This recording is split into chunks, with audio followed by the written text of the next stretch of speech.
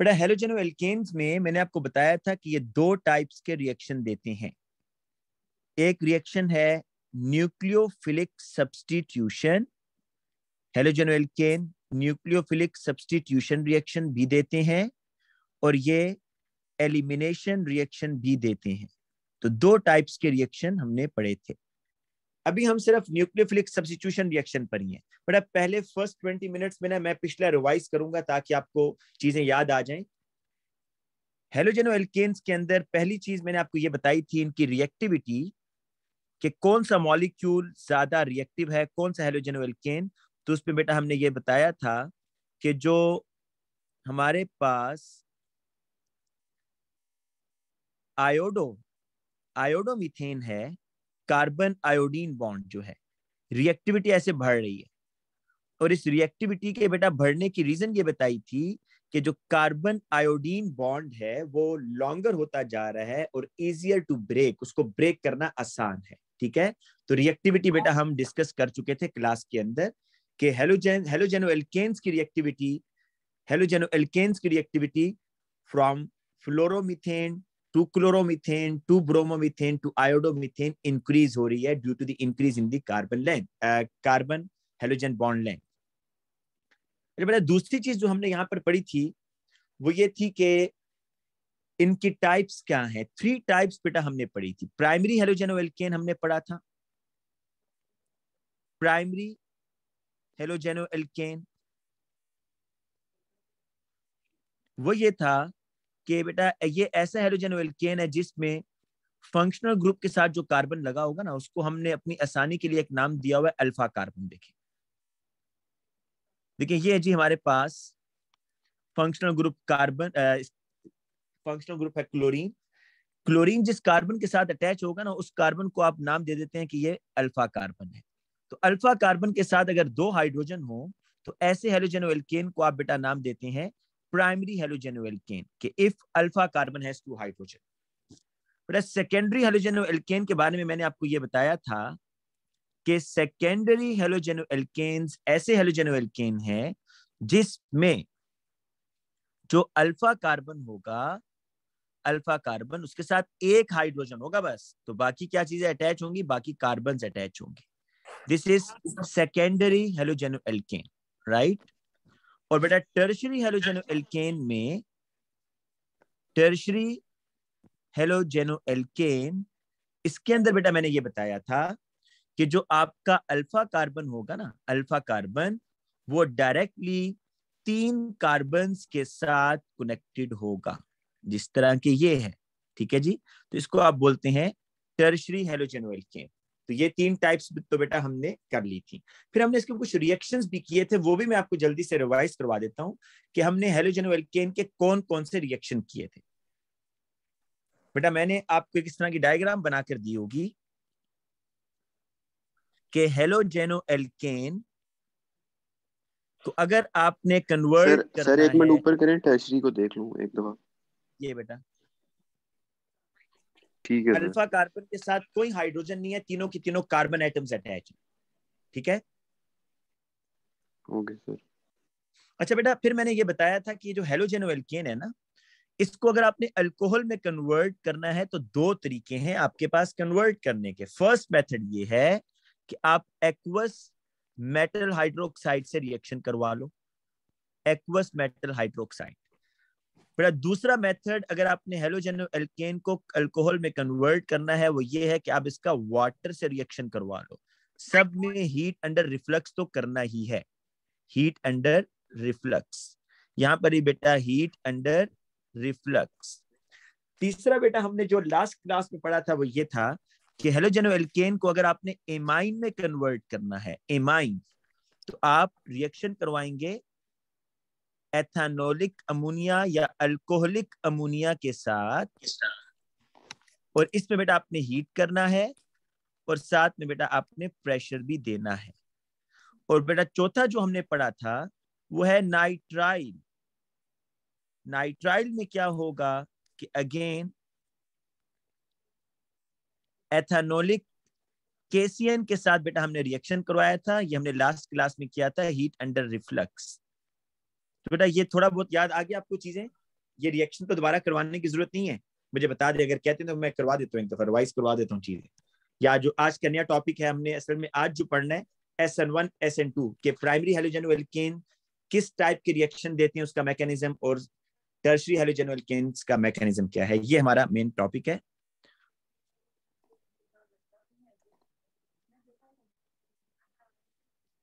अच्छा बेटा, आज अब मैं चले जल्दी से ना बेटा आपको ये रिएक्शन करवा देता हूँ। सर जी आप कल टेस्ट पहले पीरियड में लेंगे। जी बेटा टेस्ट तो पहले पीरियड में होगा। और उसमें ये नहीं आएगा बेटा टेस्ट के अंदर ये नहीं आएगा टेस्ट में अल्केन अल्कीन और आइसोमर्स और मोल मैं भी क्लास के बाद ना आपको फ़ौरन एक वर्कशीट सेंड करूँगा। वो आप बस सॉल्व कीजिएगा आपको आइडिया हो जाएगा कि आपका कल का टेस्ट कैसा होने वाला है। अच्छा होगा या नहीं? क्योंकि वही चीज़ें उस, उस तरह की मैं दोबारा पूछूँगा आपसे टेस्ट में। सर जी टेस्ट परसों नहीं ले लेते। चलो बेटा वो बाद में डिस्कस करेंगे अभी क्लास तो पहले देख लें अच्छा बेटा आप जरा हम्म। देखें कि आप लोगों ने एक जो रिएक्शन पढ़ा था C H three C H two C H two O H plus sorry C L plus O H minus अच्छा बेटा ये देखें कि ओ एच माइनस ना वो अगर ऐसे भी लिखे तो समझ जाएँगे मेटल हाइड्रोक्साइड की बात हो रही है। वो ऐसे भी लिख सकता है, देखें। एच ऐसे भी लिख सकता है कंप्लीट और समटाइम्स वो मेटल का, जो मेटल आइन है, वो शो नहीं करेगा। ओनली ओ OH भी लिख सकता है। तो बात वही है, कोई फ़र्क नहीं है इसमें। चाहे एग्जामिनर आपको एन लिख कर दे, या ओ OH लिख कर दे, आपने क्या करना है? बेटा, आपने तो न्यूक्लियोफिलिक सब्सिट्यूशन करवानी है कैसे? आपको पता है chlorine is slightly negative carbon is slightly positive और हीट अंडर रिफ्लक्स यहाँ पर कंडीशन है। तो आप क्या करेंगे, ये जो ओ OH है ना, इसको सीएल की जगह ले आएँगे, ठीक है? तो अगर आपने ओ OH के साथ रिएक्शन करवाना है बस तो ओ OH को सीएल की जगह ले आए, और ये बन जाएगा C H three C H two C H two O H और साथ में क्या बनेगा? सी एल नेगेटिव ये बेटा देखें, इस रिएक्शन को कहते हैं न्यूक्लियोफिलिक सब्सटीट्यूशन ये रिएक्शन न्यूक्लियोफिलिक सब्सटीट्यूशन है। क्यों? क्योंकि ये जो बेटा आपको न्यूक्लियोफाइल नज़र आ रहा था सी एल नेगेटिव इस न्यूक्लियोफाइल को ओ OH ने रिप्लेस कर दिया है। अच्छा बाद बच्चे से बड़े कंफ्यूज हो रहे थे, कहते जी कि एनओएच के साथ। अगर एनओएच के साथ करवाएँगे ना सेम चीज़ बनेगी, आप देखिएगा। अगर आप एनओएच के साथ भी लिखते हैं तो बस फ़र्क ये है कि ऊपर वाली आयोनिक इक्वेशन है, नीचे वाली आयोनिक इक्वेशन नहीं है। तो आप heat under reflex is the condition aqueous is the condition aqueous भी कंडीशन आपको मैंने ये बात क्लास में बताई है। तो यहाँ पर बेटा फिर वही काम करना है। ये जो सी नेगेटिव है, इसको ओ OH नेगेटिव रिप्लेस कर देगा और इस दफ़ा एन आप निकाल दें। एन और ये बन जाएगा C H three C H two C H two O H तो बेटा देखिए वही चीज़ बनी है ना। तो आपने इस चीज़ से कंफ्यूज नहीं होना कि आपको उसने ओ OH लिख कर दिया है या उसने आपको एन OH लिख कर दिया है। प्रोडक्ट आपका सेम बन रहा है राइट तो इसलिए इसलिए बेटा अब मैं नी, नीचे वाले रिएक्शन को रब कर रहा हूँ। अच्छा आप एक चीज़ आप खुद वैसे सोचें कि ये जो मैंने हेलोजन एल्केन ऊपर बेटा लिया हुआ है ये प्राइमरी है या सेकेंडरी है या टर्शरी है? तो इसको इसको आप कैसे डिसाइड करेंगे? फंक्शनल ग्रुप के साथ जो अल्फ़ा कार्बन है उसको देखें जी। और ये देख के बताएँ कि अल्फ़ा कार्बन के पास कितने हाइट जी बेटा ये प्राइमरी है वेल्ड है बिल्कुल ठीक है बेटा। अल्फ़ा कार्बन के पास दो हाइड्रोजन है तो इट वुड बी प्राइमरी ठीक है? इसका नाम मैं लिख देता हूँ। दिस इज़ क्लोरोप्रोपेन ये बेटा क्लोरोप्रोपेन है ठीक है? और ये क्या बन रहा है भाई? यहाँ पर अल्कोहल बन रहा है तो इस अल्कोहल का नाम है प्रोपेन वन ओल अब बेटा जरा देखें कि अगर हम यही रिएक्शन करते हैं टर्शरी के साथ तो रिएक्शन तो सेम होगा। मैकेनिज्म में आप देखिएगा डिफरेंस होगा। रिएक्शन जरा देखिएगा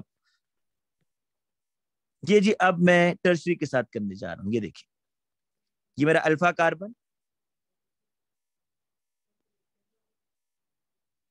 ये देखें जी।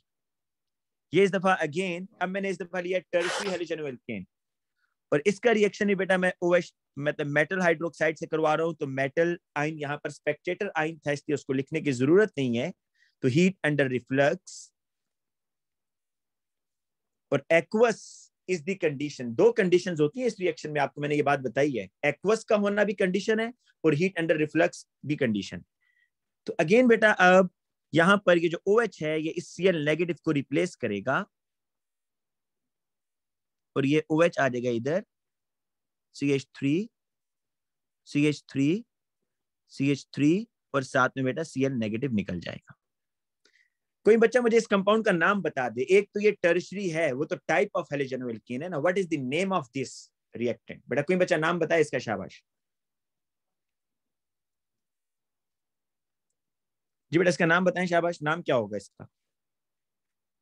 One chloro one select the longest हाँ देखिए ये जो बच्चे वन क्लोरो कह रहे हैं गलत कह रहे हैं। Select the longest carbon chain आपको पहले मेन चेन तो सिलेक्ट करनी है ना भाई? ये आपकी मेन चेन है। ये आपकी मेन चेन हम्म। है ना? तो अब जो कार्बन बाहर निकल रहे हैं वो ब्रांचेस हैं ये भी है और ये भी। अब आप इसको नाम दें। इसका नाम क्या होगा? Two chloro two methyl propane इसका नाम क्या है? Two chloro two chloro two methyl propane methyl propane मैंने बेटा क्लोरो, इसलिए पहले लिखा, मिथाइल क्यों बाद में लिखा? क्योंकि एम और सी में अल्फाबेटिकली ऑर्डर में आपने देखना है, क्लोरो पहले आ रहा है, लेकिन अगर आप ये सीक्वेंस फॉलो नहीं भी करते, वो मार्क्स दे देता है। Two chloro, two methyl propane ये देखें आप एक चीज़ जरा नोट करें। ऊपर वाला आपका प्राइमरी हेलोजेनो एल्केन था राइट ये था प्राइमरी हेलोजेनो एल्केन नीचे जो मैंने लिखा है, ये आपका टर्शरी हेलोजेनो एल्केन है। लेकिन आपने एक चीज़ नोट की है कि दोनों एक जैसे रिएक्शन देते हैं विद एक्वस एनएओएच या एक्वस मेटल हाइड्रोक्साइड के साथ रिएक्शन हो रहा है तो एक जैसे दे रहे हैं। दोनों न्यूक्लियोफिलिक सब्सटीट्यूशन दे रहे हैं। यहाँ पर भी जो सीएल था, उसकी जगह OH आ गया और बेटा यहाँ पर भी जो सीएल था, उसकी जगह OH आ गया। लेकिन फ़र्क है मैकेनिज्म में। तो आज हमने बेटा मैकेनिज्म करने हैं। ठीक है? तो अब जरा मैकेनिज्म पर आ जाए। और मैकेनिज्म बेटा मैं इस तरह करूँगा, इसको आमने सामने करूँगा ताकि आप इसमें अच्छा कंपैरिजन कर सकें। इस तरीके से करते हैं जी।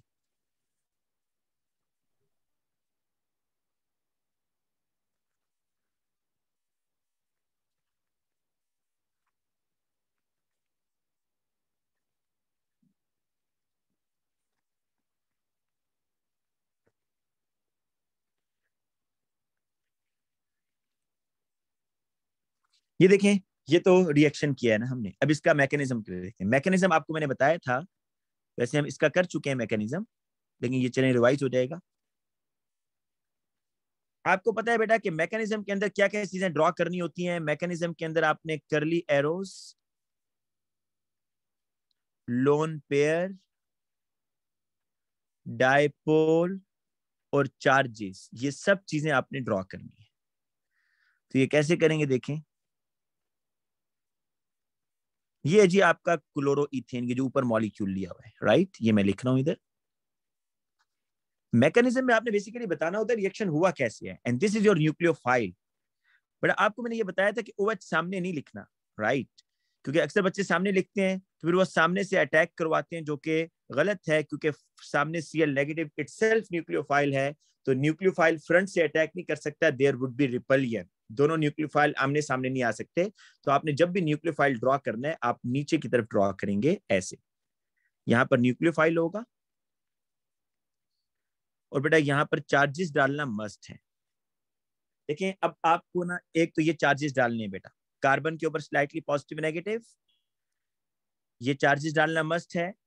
फिर जो न्यूक्लियोफाइल है बेटा न्यूक्लियोफाइल के ऊपर लोन पेयर और नेगेटिव चार्ज का डालना मस्ट है। अब आप ड्रॉ करेंगे curly arrow from the lone pair towards the positively charged carbon और बेटा यहाँ से देखें, अब ये कार्बन ओएच के साथ ना बॉन्ड बनाने जा रहे हैं, नया बॉन्ड तो इस नए बॉन्ड को बनाने से पहले कार्बन को अपना एक पुराना बॉन्ड जो वीकर बॉन्ड है, वो तोड़ना होगा तो कार्बन क्लोरीन बॉन्ड टूटेगा।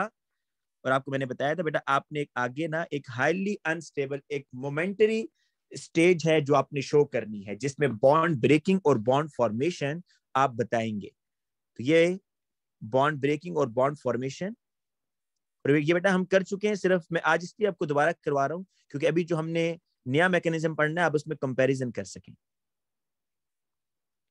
ये देखें बेटा, ये आपको मैंने बताया था कि इस तरीके से ये जो कार्बन क्लोरीन बॉन्ड है ना, ये बॉन्ड ब्रेक हो रहा है बेटा। ये बॉन्ड ब्रेक हो रहा है कार्बन क्लोरीन वाला।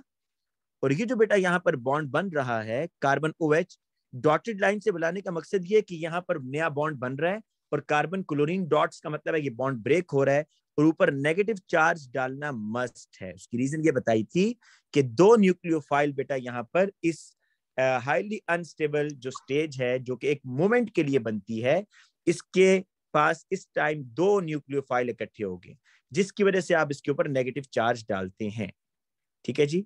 तो इसलिए ये करने के बाद नेक्स्ट स्टेप में आपने क्या करना है बेटा? नेक्स्ट स्टेप में आप बस की जो कार्बन क्लोरीन बॉन्ड है, इसको तोड़ दें और कार्बन ओएच बॉन्ड आप शो कर दें, जो कि नया बनना है। और बेटा, आपको मैंने ये कहा था, अब यहाँ ब्रैकेट डालने की ज़रूरत नहीं है ऐसी मैंने डाल दी है, ये आपके पास बन गया। और बेटा, फिर मैंने आपको इसमें एक और चीज़ ये बताई थी कि इस रिएक्शन का नाम क्या है? Name of this mechanism sorry name of mechanism is S N two और आपको एक नोट लिखवाया था कि प्राइमरी हेलोजेनो एल्केन्स ये नोट भी आपको लिखवाया था कि जो primary halogenoalkanes primary halogenoalkanes SN2 type mechanism S से बनता था substitution N stand for nucleophilic two का मतलब आपको ये बताया था। अच्छा ये बात जेल में रखें कि ये एक सिंगल स्टेप मैकेनिज्म है बेटा। आपको मैंने ये बात बताई थी कि हमारा जो सिलेबस है ना सी का, उसमें ये रिक्वायरमेंट है कि आपने ये स्टेज शो करनी है। लाजमी मेंशन करनी है। बॉन्ड ब्रेकिंग और बॉन्ड फॉर्मेशन वाली। अदरवाइज़ ये सिंगल स्टेप रिएक्शन है राइट right? तो सिंगल स्टेप रिएक्शन में बताएँ कितने मॉलिक्यूल्स इन्वॉल्व हैं, आप देख सकते हैं, दो molecules two species are involve एक ओ OH और एक ये प्राइमरी हेलोजेनल किंग तो इस टू का मतलब बेटा ये है कि two species are involve in this mechanism कि इस मैकेनिज्म में इस स्लो स्टेप के अंदर दो स्पीशीज इन्वॉल्व हैं। तो टू का क्या मतलब है? एक ओ OH और एक हेलोजेनल किंग अगर आपके माइंड में ये आ रहा है कि हर रिएक्शन में दो स्पीशीज इन्वॉल्व होती हैं तो ऐसा नहीं है। अभी आप टर्शरी में देखिएगा मैकेनिज्म टोटली डिफरेंट है इससे। बड़ा ये बातें याद आ गई हमने ये डिस्कस की हुई थी पहले?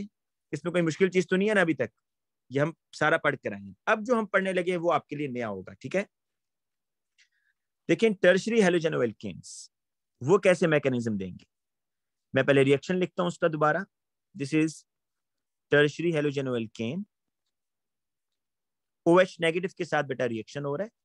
मैं आपको फिर बताया तो वो एन एच भी लिख सकता है। एन एच लिखेगा तो आप NACL निकाल देंगे। अगर एन नहीं लिखा हुआ तो सिर्फ़ सी नेगेटिव निकाल देंगे। और कंडीशन क्या होती है बेटा यहाँ पर? Heat under reflux heat under reflux और एक्वस एन तो हीट अंडर रिफ्लक्स और मैकेनिज्म इसका रिएक्शन ये होगा। बेटा रिएक्शन ये होगा कि ये जो ओ OH है ना, ये सी की जगह आ जाएगा। ठीक है? सी एल इज़ द ना? सी एस सी एल के ऊपर स्लाइटली नेगेटिव चार्ज है। ओएच के ऊपर कंप्लीट नेगेटिव है।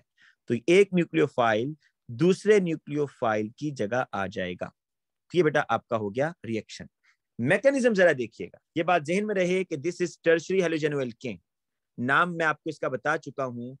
Two chloro, two methyl propane. इसका नाम है two chloro, two methyl propane. और ये टर्शरी हेलोजेनुअल केन है। क्यों? क्योंकि अल्फ़ा कार्बन के साथ डायरेक्टली तीन कार्बन कनेक्टेड है। नो हाइड्रोजन अल्फ़ा कार्बन के साथ कोई हाइड्रोजन नहीं है। तो मैकेनिज्म पर आते हैं। मैकेनिज्म बेटा इसका, देखिएगा बोर से, ये अल्फ़ा कार्बन है सेंटर में जी। This is alpha carbon alpha carbon के साथ फर्दर तीन कार्बन कनेक्टेड हैं। तीन अल्काइल ग्रुप्स हैं। दूसरा अल्काइल ग्रुप बेटा ये है। और तीसरा अल्काइल ग्रुप ये है। और ये है क्लोरीन अब देखें एक तो ओएच नेगेटिव है ना ऐसे। देखें फ्रंट से मैंने आपको कहा अटैक नहीं करवाना कभी भी। क्या रीजन बताइए? अपनी बच्चा बता सकता है क्यों फ्रंट से ये एरो गलत होगा भाई? जी शाबाश फ्रंट से ये एरो लगाना क्यों गलत है? सर दो न्यूक्लियोफाइल्स एक दूसरे को रिपेल करेंगे। यस yes, बेटा ये दोनों एक दूसरे को रिपेल करेंगे। आमने सामने से नहीं होगा। तो फ्रंट पे तो नहीं लिख सकते। चलो अब जरा देखिएगा बेटा जिसने हमने ऊपर नहीं किया था कि ओवेच नीचे से अटैक कर रहा था ना इस इलेक्ट्रोफिलिक कार्बन पर। ये देखें यहाँ पर। तो यहाँ ट्राई करके देखते हैं ये देखें इधर। ये जी O H negative with lone pair और ये बेटा अप्रोच करना चाहता है इस कार्बन के ऊपर ये जो आपको नज़र आ रहा है। एक चीज़ जरा गौर से देखें कि बेटा? यहाँ पर आपको ये तीन बल्कि ग्रुप्स बल्कि ग्रुप्स कहते हैं बड़े साइज़ के ग्रुप्स ये तीन बल्कि ग्रुप्स आपको नज़र आ रहे हैं यहाँ पर या नहीं नज़र आ रहे? बताएँ जरा। Bulky groups are present bulky group होने की वजह से, बेटा due to the presence of bulky group this OH is unable to attack on this electrophilic carbon. है ना बेटा? इस इन तीन बल्कि ग्रुप्स की वजह से जरा गौर करें।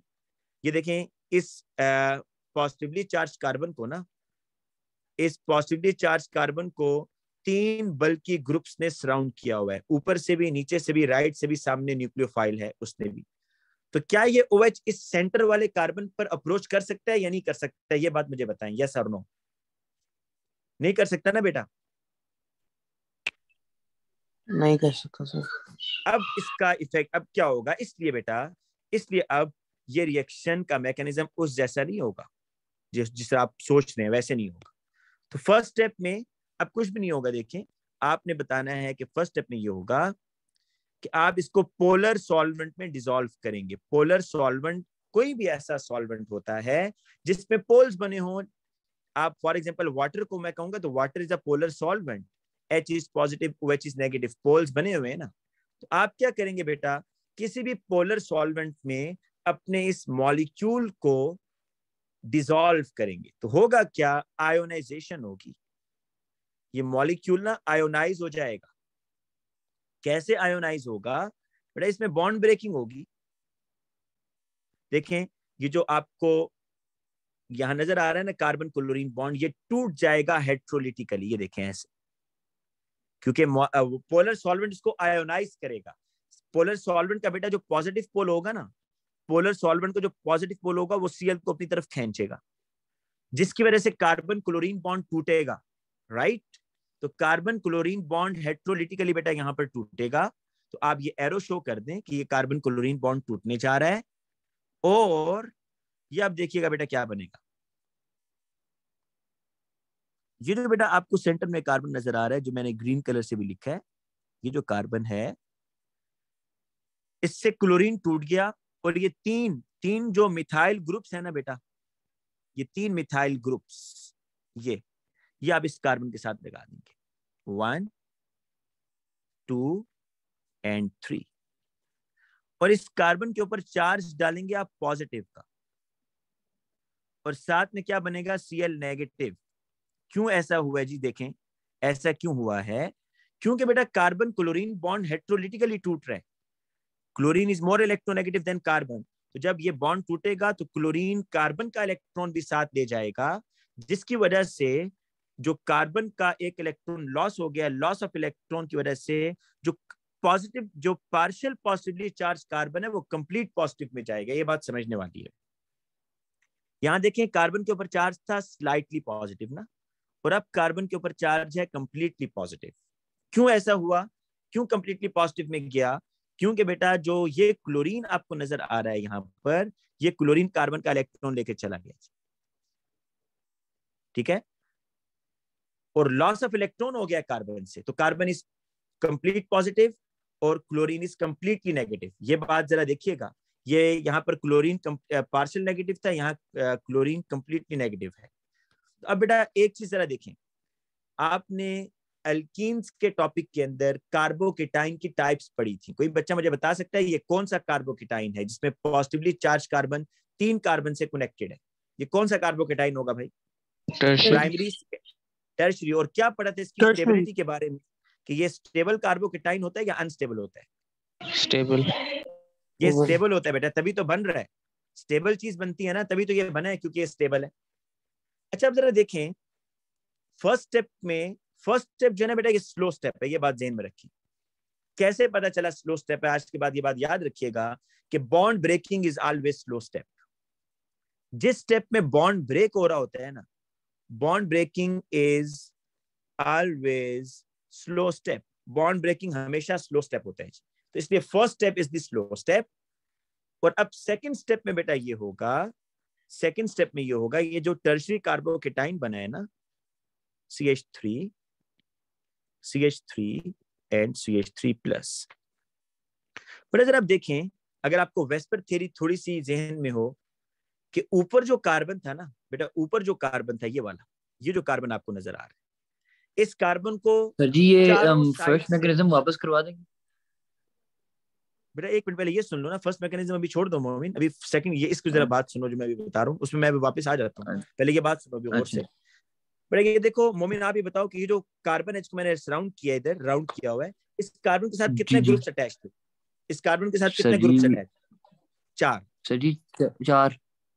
मिथाइल तीन मिथाइल और एक क्लोरीन तो बॉन्ड एंगल कितना था यहाँ पर क्लोरीन। 109 बॉन्ड एंगल था जी, जी। 109 आपको पता है जब भी कार्बन चार बॉन्ड बना रहा होता है उसका एंगल 109 होता है। 109 नीचे जरा देख के बताओ भाई नीचे देख के बताओ कि कार्बन के साथ कितने ग्रुप्स अटैच तीन सर एंगल इंक्रीज हुआ एंगल बढ़ गया है 120 तो जो ऊपर प्रॉब्लम आ हो रहे वो अब नीचे नहीं आएगा।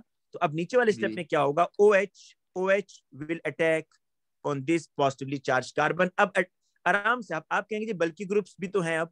भाई अब बल्कि ग्रुप्स हैं लेकिन अब बॉन्ड एंगल बढ़ गया है। एक न्यूक्लियोफाइल जो निकल गया है तो बॉन्ड एंगल बढ़ गया है, अब ओ OH इसके ऊपर अटैक करेगा, किसके ऊपर? इस पॉजिटिवली चार्ज कार्बन के ऊपर, और ये फास्ट स्टेप है। क्यों फास्ट स्टेप है? बॉन्ड फॉर्मेशन हो रहा है, और ऑपोजिटली चार्ज आइंस एक दूसरे को अट्रैक्ट कर रहे हैं। तो फास्ट स्टेप होने की वजह से आप, अब यहाँ क्या होगा देखें?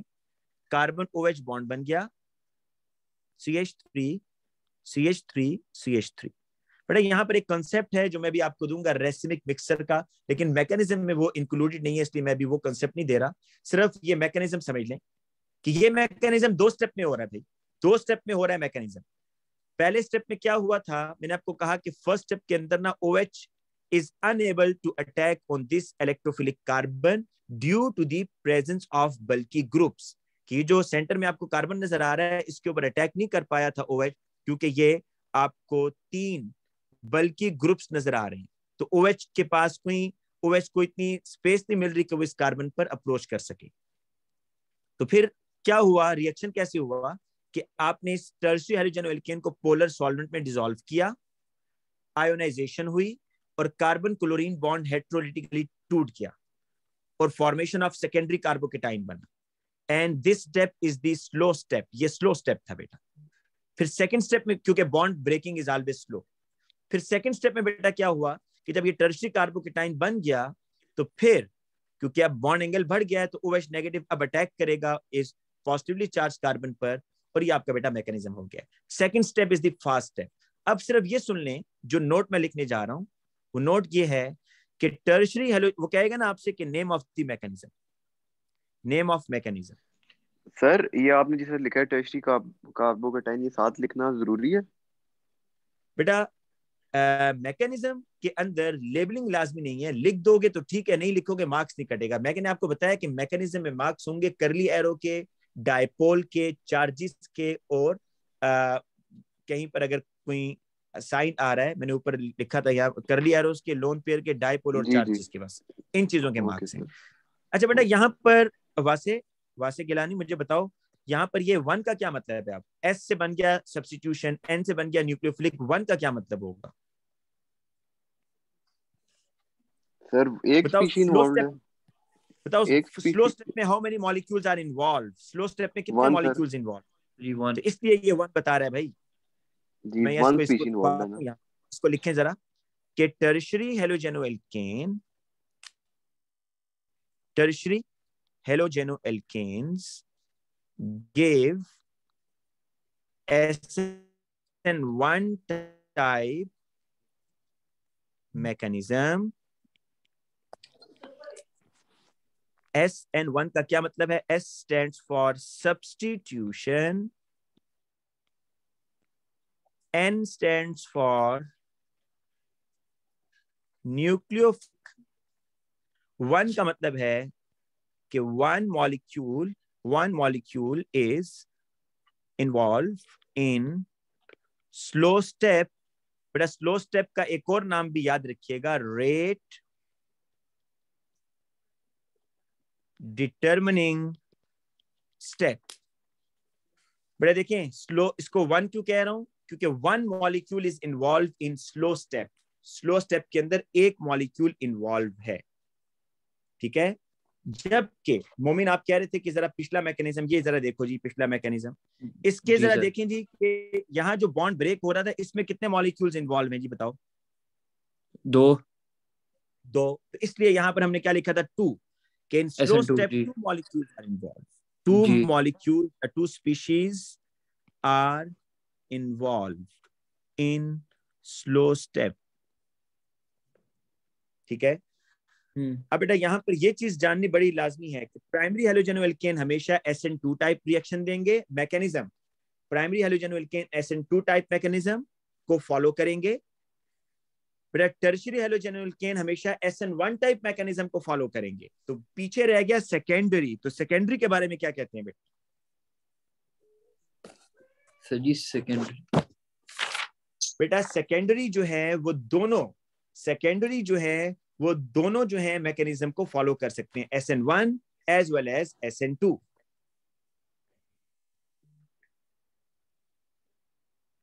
नहीं समझ आई ना ये बात?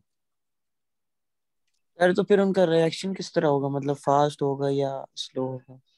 आपकी मर्ज़ी है हो- तोहीद आप S N secondary halogen alkane के लिए अगर आप ये वाला मैकेनिज्म फॉलो करना चाहते हो कि पहले उसमें कार्बोकेटाइन बनाओ और सेकंड स्टेप में OH का रिएक्शन करवाओ ये भी चल जाएगा। अगर आप सेकेंडरी हेलोजन एल्केन में ये वाला मैकेनिज्म बनाना चाहते हो bond breaking bond formation dotted line से शो करना चाहते हो ये भी ठीक है। तो secondary halogen alkane follows both mechanism मैं नीचे लिख देता हूँ कि सेकेंडरी हेलोजन एल्केन्स जो हैं देखिए प्राइमरी जो है प्राइमरी क्या करेगा? Primary halogenoalkane primary halogenoalkanes give SN2 type mechanism.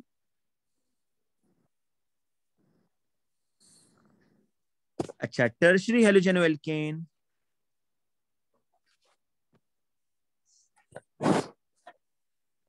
tertiary halogenalkanes give SN1 type mechanism. बेटा टेस्ट जो है ना अगर आप लोगों को मसला है तो मैं ट्यूसडे के ले लूँगा स्कूल के बच्चों की बात कर रहा हूँ ठीक है अगर मसला है तो मैं एक दिन लेट कर लूँगा ताकि आप टेस्ट अच्छा तैयार करें उसकी टेंशन ना लें लेकिन टॉपिक जो है ना अच्छे तरीके से आपने तैयार करना है ट्यूसडे को ले लें अभी तैयारी नहीं है ठीक है बेटा ठीक है ठीक है ठीक है सेकेंडरी हेलोजेनो बेटा सेकेंडरी हेलोजेनो एल्केन्स जो हैं secondary halogenoalkanes follows both SN1 and SN2 आपकी मर्ज़ी है सेकेंडरी हेलोजेनो एल्केन के लिए आप एस एन वन या एस एन टू दोनों में से जोन सा मर्ज़ी मैकेनिज्म बना दें। अच्छा एक एमसीक्यू है बेटा जो इस पे पूछता है आपसे।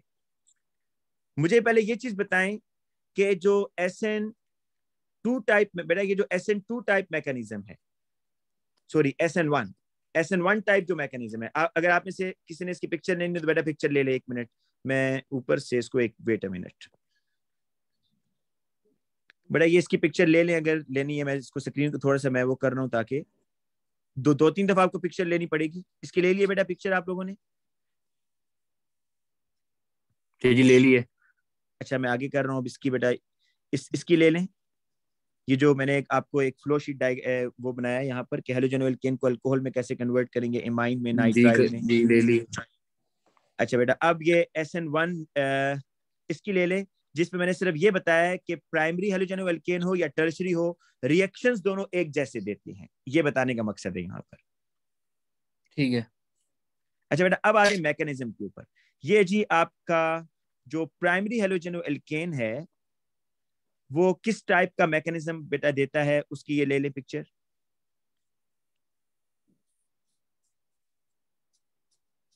जी और लास्ट में बेटा ये है आपका टर्शरी हेलोजेनो एल्केन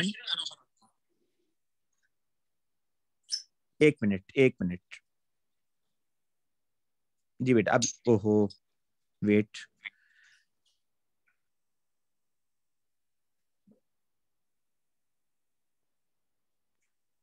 ले लिए बेटा? जी। अच्छा जी। अब एक चीज़ बस मैंने आपको बतानी है। आप जरा इन नोट्स को देख के बताएँ कि इसमें कौन सा मैकेनिज्म है जो सिंगल स्टेप में हो रहा है कौन सा है जो डबल स्टेप में हो रहा है जो दो स्टेप में हो रहा है? कौन सिंगल स्टेप में हो रहा है और कौन डबल स्टेप में हो रहा है भाई? सर जी सिंगल स्टेप में हो रहा है ना वो आप सर जी S N S N one या हाँ गुड गुड और दो स्टेप में कौन सा हो रहा है? एन वन बेटा, जब दो स्टेप में कोई रिएक्शन होता है ना तो उसके लिए जो एनर्जी प्रोफ़ाइल डायग्राम है, वो ऐसी आती है। उसमें दो एनर्जी हम आते हैं। ये जरा देखिएगा। ये आपको मैं एनर्जी प्रोफ़ाइल डायग्राम बता रहा हूँ। बेटा, इसमें आपको, मैं इसको जरा सही करके बनाता हूँ।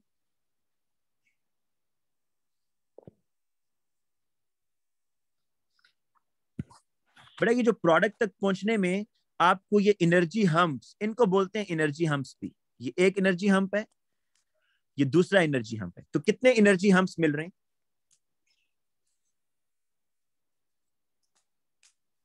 सर जी दो।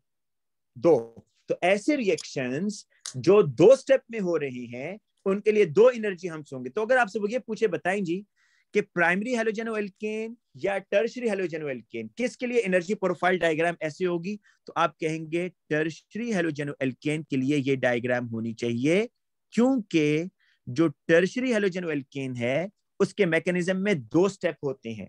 पहले स्टेप में। कार्बोकेटाइन बनता है बेटा इधर। सर जी प्राइमरी नहीं होता S N two S N two तो प्राइमरी होता है मैं स्टेप्स की बात कर रहा हूँ स्टेप्स अच्छा स्टेप्स ठीक है ठीक है सही है सही है। मॉलिक्यूल्स की बात नहीं हो रही स्टेप्स की मैंने ऊपर लिखा है यहाँ पर जी जी ऐसे मैकेनिज्म इसलिए मैंने आपसे पहले ये चीज़ कहलवाई है कि ये बताएँ कि जो टर्शरी हेलोजेनो एल्केन का मैकेनिज्म है वो कितने स्टेप में हो रहा है? सर जी वो कितने स्टेप में हो रहा है? दो में हो रहा है। तो इसके लिए ऐसे रिएक्शंस जो दो स्टेप में होते हैं उनके लिए दो एनर्जी हम्प्स आपको मिलती हैं। और ऐसे रिएक्शंस जो एक ही स्टेप में हो रहे हैं for example primary halogeno alkane है प्राइमरी हेलोजेनो एल्केन तो प्राइमरी हेलोजेनो एल्केन के लिए जो आपको एनर्जी प्रोफ़ाइल डायग्राम वही जो आप ओ लेवल्स में बनाती आई है, ऐसी होगी भाई। ठीक है, यहाँ देखें, ये एक ही एनर्जी हम पे ना, इसका मतलब ये सिंगल स्टेप पे रिएक्शन हो गया। तो ये चीज़ बेटा एमसीक्यू में वो आपसे पूछता है कि प्राइमरी हेलोजेनो एल्केन्स के लिए एनर्जी प्रोफ़ाइल डायग्राम और टर्शरी हेलोजेनो एल्केन्स के लिए एनर्जी प्रोफ़ाइल डायग्राम बेटा यहाँ तक क्लियर है ताकि मैं आगे चलूँ मुझे ये बताएँ। यहाँ तक कोई प्रॉब्लम है तो बेटा डिस्कस करें। सर आप वो डायग्राम दोबारा दिखा सकते हैं जिसमें दो एनर्जी हम्प्स थे? जी बेटा ये देखे। ये जी।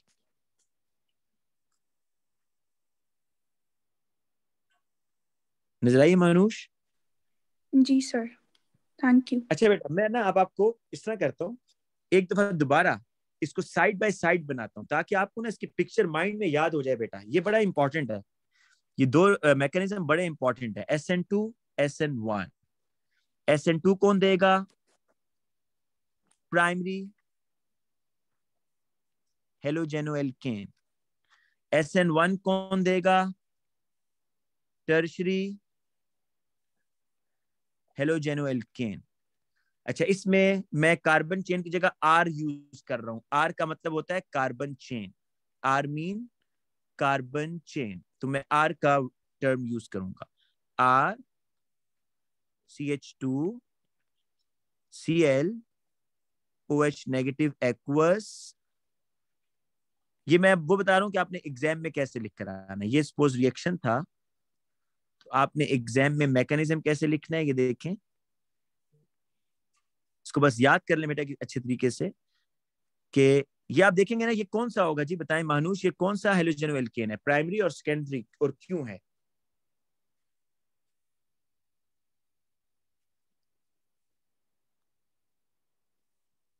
हाँ जी मानुष ये कौन सा हेलोजेनो एल्केन है बेटा? दो दो हाइड्रोजन है ना? हाँ जी तो ये कौन सा हेलोजेनो एल्केन होगा? ये प्राइमरी होगा। जी बेटा, अब देखिए मैकेनिज्म कैसे लिखेंगे? ये लोन पेयर नीचे OH उसके ऊपर लोन पेयर ये बेटा एरो इधर, यहाँ से एरो इधर, और फिर आपने आगे बेटा वो एक स्टेट दिखानी है मोमेंट्री स्टेट है, जो कि नैनो सेकेंड्स के लिए बनेगी। ये ये तो बेटा ये बॉन्ड जो है वो ब्रेक होता हुआ दिखाएँगे यहाँ पर यहाँ पर बॉन्ड बनता हुआ दिखाएँ। और बेटा ऊपर नेगेटिव चार्ज डालना नहीं भूलना, जो ये बताएगा कि दो न्यूक्लियोफाइल इकट्ठे हो गए हैं और नेक्स्ट स्टेप के अंदर बेटा आप इसको सी एच टू और ये ओ OH और सी एल निकाल दें। और इसको हम एस एन टू कह रहे हैं। टू क्यों कह रहे हैं? कि टू मॉलिक्यूल्स ये सिंगल स्टेप मैकेनिज्म है राइट ये सिंगल स्टेप है। टू मॉलिक्यूल्स आर इन्वॉल्व या two species are involve in slow step slow step का दूसरा नाम है रेट डिटर्मिनिंग स्टेप और बेटा एस एन वन कैसे होगा देखें? एस एन वन के लिए मैंने आपको कहा कि आप इस तरीके से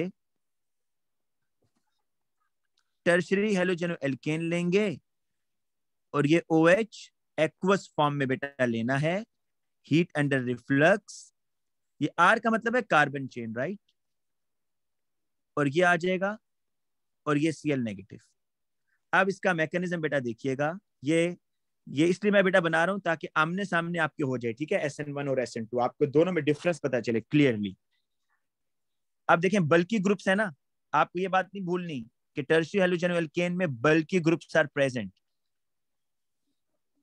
तो बल्कि ग्रुप्स होने की वजह से बल्कि ग्रुप्स होने की वजह से अब क्या होगा? कि, एक मिनट, मैं इसको थोड़ा सा बड़ा करके लिखता हूँ बेटा।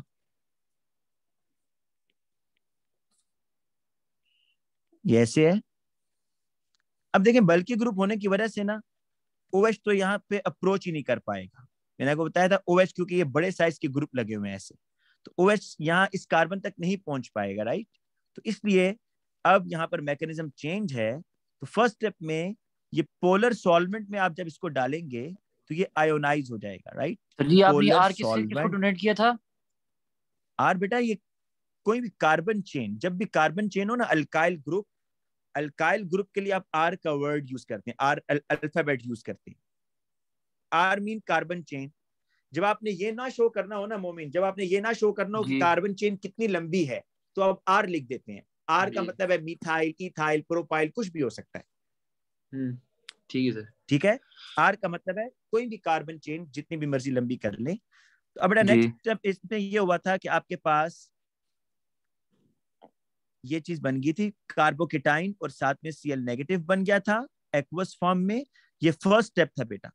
और सेकंड स्टेप में ये हुआ कि ये जो कार्बोकेटाइन बना है पॉजिटिवली चार्ज कार्बन इसके ऊपर बेटा अब देखिए स्पेस बन गई है ना तो अब ओ OH नेगेटिव इसके ऊपर आकर अटैक करेगा ऐसे और ये आपका सर हम शो नहीं करना है जो पोलर सॉल्वेंट है वो जो अट्रैक्ट कर रहा है सीएल जो नहीं नहीं नहीं नहीं वो तो मैंने समझाने के लिए बिल्कुल शो नहीं करना भाई ना ना ना वो शो नहीं करना वो मैंने समझाने के लिए आपको ये मैंने इसलिए बनाया कि आपने एग्ज़ाम में क्या काम करना है। ये एरोज हैं जो आपने एग्ज़ाम में बना कर आने हैं बस। बाकी कुछ भी आपने एग्ज़ाम में बना। सर वो रिवर्सिबल रिएक्शन है पहला वाला। हाँ फ़र्स्ट वन इज़ रिवर्सिबल बेटा। फ़र्स्ट वन इज़ रिवर्सिबल लेकिन अगर आप उसको रिवर्सिबल शो नहीं भी करते ना तो मार्क्स दे देता है। लेकिन रिवर्सिबल लिख लें तो अच्छा है। मैकेनिज्म में वो जो मार्क्स काटेगा बेटा मैकेनिज्म में मार्क्स किस चीज़ के सुने? मैं उस चीज़ को रेड कलर से मार्क कर रहा हूँ। ये बेटा, ये करली एरो ये पॉजिटिवली चार्ज कार्बन ये लोन पेयर से एरो स्टार्ट करना नेगेटिव और ये इस साइड पर एरो इन चीज़ों के मार्क्स हैं भाई और ये दो स्टेप में हो रहा है बेटा दो स्टेप में हो रहा है ठीक है? इसके लिए जो एनर्जी प्रोफ़ाइल डायग्राम मैंने आपको बना कर दी थी वो ये बनाई थी कि दो स्टेप में जब रिएक्शन होगा सर? जी बेटा। सर इसके स्टेप टू में हम क्लोरीन को क्यों नहीं शो करते? बेटा वो तो रिएक्शन नहीं कर रहा ना। जो चीज़ रिएक्शन कर रही है आपने तो मैकेनिज्म में वो बताना है कि ये बना कैसे है देखो। क्या सीएल की रिएक्शन कर रहा है या नहीं कर रहा बताओ। सीएल तो बस सोल्यूशन में चला गया है उसको तो हमने छोड़ दिया सोल्यूशन में। तो आपने अब बताना है कि कार्बन हम्म। के साथ ओ OH कैसे अटैच हुआ? तो इसलिए सेकंड स्टेप में आप वो शो करके दिखा रहे हैं कि कार्बन के साथ ओ OH कैसे लगा। अच्छा ठीक है सर। अच्छा why this is S N one बेटा? Why this is S N one one का क्या मतलब है यहाँ पर? वन मॉलिक्यूल इन्वॉल्व किसमें? किसमें वन मॉलिक्यूल और ये स्लो स्टेप है भाई। ये स्लो स्टेप है। Bond breaking is always slow step और जो बॉन्ड फॉर्मेशन है जहाँ पर बॉन्ड बन रहा है दो आइंस एक दूसरे के करीब आ रहे हैं that is bond bond formation और वो फास्ट स्टेप होगा। अच्छा बेटा अब हम आगे और कोई चीज़ नहीं पढ़ेंगे मैं आपको बस एक दो चीज़ें और बताऊँ अल्कीन से रिलेटेड आप लोगों ने बेटा अल्कीन की प्रैक्टिस तो की हुई है ना यानी जी सर। अच्छा अब जरा देखें।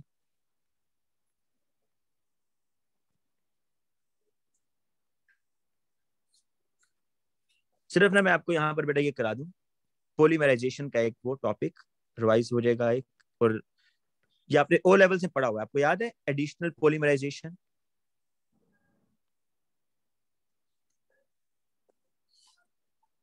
जी बेटा याद है पोलीमराइजेशन आप लोगों ने पढ़ा है या, या, या याद नहीं है? अगर नहीं याद तो ये बेटा ये सुने कि पोलीमराइजेशन क्या होती है? पोलीमराइजेशन ये होती है कि when small molecules are chemically combined together and form a large molecule, then it is called polymerization. पर स्मॉल मॉलिक्यूल्स केमिकली कंबाइन होंगे और लार्ज मॉलिक्यूल बनेगा इसको आप कहते हैं पोलीमराइजेशन और स्मॉल मॉलिक्यूल्स के लिए एक वर्ड यूज़ होता है कहते हैं मोनोमर्स स्मॉल मॉलिक्यूल्स के लिए एक वर्ड हम यूज़ करेंगे मोनोमर्स लार्ज मॉलिक्यूल के लिए हम एक टर्म यूज़ करेंगे पोलीमर बस इसकी एग्जांपल करेंगे बेटा फिर क्लास में खत्म कर दूँगा ठीक है? इसकी एक दो एग्जांपल्स एक दो पास पेपर के क्वेश्चन देन क्लास खत्म। पर ये आपने इसमें करना है कि when small molecules are chemically combined together and form a large molecule then it is called polymerization. क्या मतलब है जी इसका? इसकी ना बेटा दो टाइप्स थी। अगर आपको याद हो ओ लेवल्स में ना आपने इसकी दो टाइप्स पढ़ी थी पोलीमराइजेशन की सॉरी पोलीमराइजेशन की दो टाइप्स आपने पढ़ी थी। एक थी एडिशनल और एक थी बेटा कंडेंसेशन जी। ठीक है? हमारे सिलेबस में एएस में एएस केमिस्ट्री में सिर्फ़ एडिशनल है। ए टू में फिर कंडेंसेशन है। तो हम सिर्फ़ एडिशनल पढ़ेंगे और बिल्कुल वही एग्ज़ाम्पल है कोई नई चेंज नहीं है बेटा। जो ओ लेवल से पढ़ कर आई है वही है। सिर्फ़ रिवीजन हो जाएगी आपकी। कोई नई चीज़ नहीं है इसमें लेकिन अलबत् एमसीक्यूज काफ़ी टफ पूछता है आइसोमर इससे रिलेटेड सबसे पहले तो वाले में वाटर फॉर्म होता है ना? गुड बेटा स्मॉल मॉलिक्यूल फॉर्म होता है। वाटर लाजमी नहीं है कोई भी स्मॉल मॉलिक्यूल बनेगा। और एडिशनल में क्या होगा कि सिर्फ़ पॉलीमर बनेगा no small molecule is form तो मैं यहाँ लिख देता हूँ हमने एडिशनल पोलीमराइजेशन करना है। गुड मेमोरी एडिशनल पोलीमराइजेशन बड़ा याद रखिएगा एडिशनल पोलीमराइजेशन के अंदर मोनोमर्स जो होंगे ना आपके monomers must be alkene must be unsaturated additional polymerization के लिए जो आप मोनोमर्स यूज़ करेंगे उनमें कार्बन कार्बन डबल बॉन्ड का होना मस्ट है। कैसे? फॉर एग्ज़ाम्पल एग्जामिनर आपको कहता है कि draw the structure of draw the structure of polypropene कि जी आप पोलीप्रोपीन का स्ट्रक्चर ड्रॉ करें। तो पता है क्या करेंगे? आप इसमें पहले देखेंगे कि पोलीप्रोपीन में ये किससे मिलके बनना है? जी पोली का तो मतलब होता है मैनी पोली मीन मैनी तो बेसिकली आपको समझ आ जाएगा अच्छा ये तो प्रोपीन मॉलिक्यूल से मिलके बना है। तो प्रोपीन मॉलिक्यूल का स्ट्रक्चर तो आप फ़ौरन बना लेंगे कि प्रोपीन होता है C H three C H double bond C H two है ना? ये आप लोग यहाँ से पिक कर लेंगे कि दिस इज़ प्रोपीन प्रोपीन का आपको पता होगा formula C three H six और ये बेटा इसका स्ट्रक्चर बन जाएगा। आप स्ट्रक्चर कैसे ड्रॉ करेंगे पोलीप्रोपीन का वो देखें। बेटा इसकी मैं पूरी इक्वेशन लिख कर दिखाता हूँ आपको। जब भी आपने पोलीमराइजेशन का रिएक्शन शो करना हो सबसे पहले बेटा आप उसके लिए मोनोमर्स लिखते हैं। मोनोमर्स क्या है? आपको पता चल गया कि मोनोमर यहाँ पर प्रोपीन है। ये प्रोपीन को आप मिक्स करेंगे ना तो पोलीप्रोपीन बनेगा। तो ये जो मोनोमर है यहाँ पर प्रोपीन बेटा मोनोमर को ना ड्रॉ करने का एक यूनिक सा स्टाइल है, वो जरा सीख लें कि मोनोमर कैसे ड्रॉ करते हैं। कार्बन कार्बन डबल बॉन्ड उसको आप पहले लिखेंगे, ऐसे करके। ये जो डबल बॉन्डेड कार्बन होगा ना बेटा, इसके साथ कितने हाइड्रोजन लगे हैं? दो। तो ये दो हाइड्रोजन बेटा आप ऊपर नीचे ऐसे ड्रॉ करेंगे। इस साइड पर देखें, दूसरी साइड पर। ये जो डबल बॉन्डेड कार्बन है, इसके साथ कौन से ग्रुप लगे हुए एक हाइड्रोजन लगा हुआ है और एक क्या लगा हुआ है? मिथाइल ग्रुप लगा हुआ है जी। तो ये आप लगा देंगे ऐसे। देखिए मोनोमर लिखने का स्टाइल ये है कि आपने जब भी मोनोमर ड्रॉ करना है ना बेटा तो ये जो डबल बॉन्डेड कार्बन नज़र आ रहे हैं, इसके राइट और लेफ़्ट पर कुछ भी नहीं लिखना, ऊपर नीचे ड्रॉ करना है। अदरवाइज़ आप गलत स्ट्रक्चर बनाते जाएँगे। जब भी मोनोमर ड्रॉ करना है तो ये जो डबल बॉन्डेड कार्बन है ना, इसके ऊपर नीचे ग्रुप्स लगाने हैं। राइट लेफ़्ट पर नहीं लगाने, ठीक है? वरना आपका पोलीमर आपसे नहीं बनेगा। तो ये देखिए, जो ऊपर मैंने प्रोपीन लिखा था ना ये, इसको मैंने अरेंज किया मोनोमर की फॉर्म में, ऊपर नीचे लिखा है। देन बेटा, एक और मोनोमर मैं लिखने जा रहा हूँ इधर। इसी स्टाइल से लिखूँगा देखो। H H H N C H three आप जितने मर्ज़ी बेटा देखिए पोलीमराइजेशन में ना थाउजेंड्स ऑफ़ मोनोमर्स मिक्स होते हैं लेकिन हम तो जारी बात है उतने सारे नहीं लिखेंगे हम तो सिर्फ़ दो को लिख लेते हैं चले। अब आपने क्या करना है बेटा पोल, पोलीमर लिखने का तरीका ये होता है कि आप पहले स्क्वायर ब्रैकेट डालें। कितने कार्बन है यहाँ पर? टोटल कार्बन कितने हैं? चार। तो आप बेटा इन चारों कार्बन के दरमियान सिंगल सिंगल बॉन्ड कर देंगे। क्योंकि बेटा देखिए मैकेनिज्म ना इसका हमारे सिलेबस में है नहीं, ठीक है? तो मैकेनिज्म अगर सिलेबस में नहीं है तो आपको जानने की ज़रूरत नहीं है, बस आपने ये करना है कि जब भी पॉलीमर ड्रॉ करना होगा तो मोनोमर्स के अंदर ये जो डबल बॉन्डेड कार्बन है, इनको खत्म कर देंगे। और चारों कार्बन के दरमियान सिंगल सिंगल सिंगल बॉन्ड आ जाएगा। तो इसको समझने के लिए मैं इस तरह के एरोस ड्रॉ करता हूँ कि ये जो डबल बॉन्ड है ना बेटा, ये जो मैं शो करता हूँ ग्रीन कलर से, ये ये डबल बॉन्ड बेटा इधर शिफ्ट हो जाएगा। और बेटा, ये जो आपको डबल बॉन्ड नज़र आ रहा है, ये और आगे चले जाए। अब बेटा देखिएगा, ये carbon single bond carbon then बेटा कार्बन और फिर कार्बन और फिर के और ये बेटा ऊपर नीचे ग्रुप्स वही आएँगे। देखें ग्रुप्स में कोई चेंजिंग नहीं है। ऊपर मिथाइल आएगा, नीचे एच फिर ऊपर एच है बेटा, नीचे भी एच है। देन ऊपर मिथाइल आ रहा है रेड कलर से देखें। मिथाइल एच फिर एच और ये एच और यहाँ बेटा एन डाल देते थे आप तो ये बेटा इस तरीके से आपने पोलीमर ड्रॉ करना है। एक और एग्ज़ाम्पल मैं आपको करा देता हूँ एक और एग्ज़ाम्पल करा देता हूँ ताकि मजीद पता चल जाए। वो आपसे कहते हैं जी के ड्रॉ दी सर एक मिनट ऊपर के नोट डाउन कर लो। ये लो बेटा। ये आपने जो ओ लेवल से पढ़ा है ना ये हंड्रेड परसेंट वही है कोई चेंजिंग नहीं है इसमें।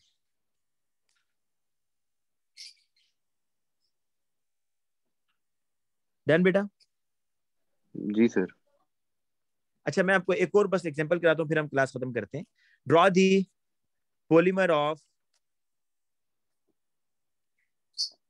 but two ene बेटा कहता है ब्यूट टू इन के ना पॉलीमर बनाए। तो आप देखें पहले ब्यूट टू इन का स्ट्रक्चर ड्रॉ करें। One two three four but two ene है carbon carbon double second second carbon आएगा। जी। तो पहले बेटा इस तरह का स्ट्रक्चर ड्रॉ कर लें फिर हम पॉलीमर बाद में इसका मोनोमर बाद में ड्रॉ करते हैं। ये इसका आपने मेन स्ट्रक्चर ड्रॉ कर लिया। अब आप इसको मोनोमर्स की फॉर्म में लिखें बेटा। मोनोमर की फॉर्म में लिखने का तरीका ये होता है कि आपने कार्बन कार्बन डबल बॉन्ड बेटा पहले लिखना डबल बॉन्डेड कार्बन के साथ कितने ग्रुप्स लगे हुए हैं एक हाइड्रोजन लगा हुआ है। एक मिथाइल लगा हुआ है। एक मिथाइल लगा हुआ है। इसी तरीके से दूसरे डबल बॉन्डेड कार्बन के साथ देखें एक हाइड्रोजन लगा हुआ है और एक मिथाइल लगा हुआ है। ये बेटा जब आप इस तरह लिख देंगे ना आपको कोई मसला ही नहीं होगा पॉलीमर बनाने में। अब आपने जितने जितने जितनी दफ़ा रिपीट करना चाहते हैं आप कर दें। जितनी दफ़ा जितने रिपीटिंग यूनिट वो कह रहा होगा आप उतनी दफ़ा लिखते जाएँगे। चले दो दफ़ा फिर कर देते हैं हम। अब अगर आपने पॉलीमर ड्रॉ करना है तो क्या करेंगे बेटा? इन चारों कार्बन के दरमियान सिंगल सिंगल बॉन्ड कर दें। चारों कार्बन के दरमियान। तो वन टू थ्री फोर और बेटा बस ऊपर वही ग्रुप्स लगा दें जो लगे हुए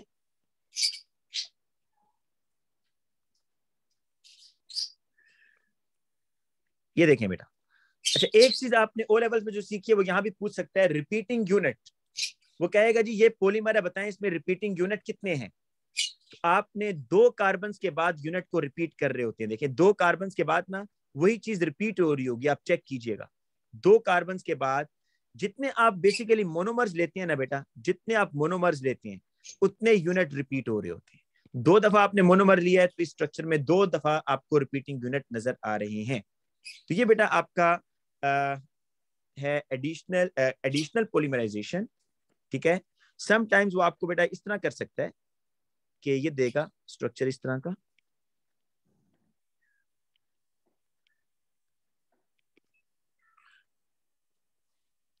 हाँ जी। अब आपसे कहेगा बताएँगे कि इसमें रिपीटिंग यूनिट क्या है बेटा? क्या चीज़ बार बार रिपीट हो रही है? तो आपको मैंने ये कहा है कि दो कार्बन के बाद ना चीज़ रिपीट हो रही होती है। आप जरा देखिएगा। ये पोलीमर है ना? आपसे वो रिपीटिंग यूनिट पूछ रहा है कि यार इसमें क्या चीज़ बार बार रिपीट हो रही है? तो आप दो कार्बन के बाद जरा मार्क करके देखें। क्या ये दोनों चीज़ें सेम नहीं है? क्या एक जैसी चीज़ें नहीं है? देखें, अगर आपको यहाँ मुश्किल हो रही है, इस कार्बन के साथ देखें, एक क्लोरीन एक हाइड्रोजन लगा हुआ है और दूसरे कार्बन के साथ दोनों हाइड्रोजन है। जरा अगले कार्बन को देखें। इस कार्बन के साथ एक क्लोरीन एक हाइड्रोजन लगा हुआ है और अगले कार्बन के साथ दोनों हाइड्रोजन लगे हुए हैं। तो बताएँ बेटा क्या ये दोनों सेम यूनिट नहीं है जो बार बार रिपीट हो रहे हैं आगे? ये यूनिट और ये यूनिट सेम है या नहीं सेम सही सेम है। सेम है। तो आप मोनोमर कैसे बनाते हैं भाई? पॉलीमर से मोनोमर कैसे बनाएँगे? पहला काम आपने रिपीटिंग यूनिट को मार्क कर लिया। रिपीटिंग यूनिट मार्क कर लिया। रिपीटिंग यूनिट मार्क करने के बाद बस रिपीटिंग यूनिट में कार्बन कार्बन डबल बॉन्ड लगा देना ये जी ये आपका मोनोमर बन गया। ठीक है? ये याद आया बेटा ये काम आपने ओ लेवल्स में किया हुआ था? जी सर। जी। ठीक है बेटा तो आज के लिए इतना काफ़ी है। तो बाकी इंशाल्लाह बेटा हम कल क्लास में डिस्कस करेंगे ठीक है? अभी मैं वर्कशीट आपको सेंड करूँगा वो लाजमी करना है। इसमें S N one S N two के मैकेनिज्म भी होंगे। वो भी बेटा ट्राई कीजिएगा। टेस्ट इंशाल्लाह ट्यूसडे को होगा।